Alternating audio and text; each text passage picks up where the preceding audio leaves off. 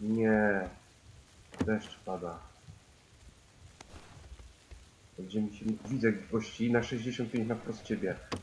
Na wprost ciebie patrzysz na mnie, to trochę w prawo. Budynek y, z dachem. Jak to ci wytłumaczę?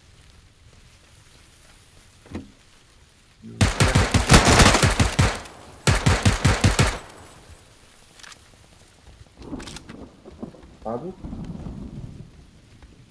Uważaj, bo to nie, on nie był sam.